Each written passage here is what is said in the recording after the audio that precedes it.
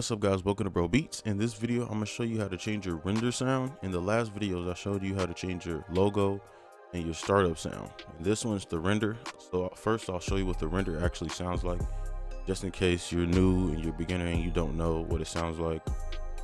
So I'll render this out real quick, and this is a Michael Jackson sound. So just render it real quick.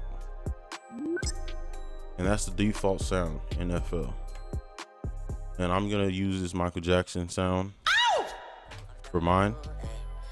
So again, you're gonna need an audio converter, just like the old video. Um, so I have this one; it's just a free one. It's the first one I found, so I downloaded it. Um, you can find any one you want, or you can just get this one. So I'm just gonna drag this file into the audio converter. And then what you want to do after that is click this or find your audio for output format and go to WV because that's the format for the FL uses for this sound. So everything should be ready. That's all you need to do. It just let's just say you have this program and then you click start and it'll it'll render it to the desktop. So I have um, ultra wide monitor so you can't see it on mine and I have this up but first, we're gonna need to go to the place where you're gonna drag the file. So what you're gonna do is go to image line, your folder with FL Studio. Um, wherever you installed it, just go to that folder. I'm gonna go to FL12, but that's what I use. Go to artwork, skins, and then default. And then this is what everything should should look like. So you're gonna replace this right here, this sound with the new one.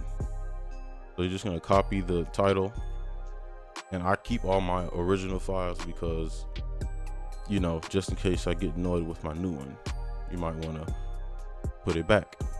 So I'm gonna drag this out of here. Actually, we can just create a folder.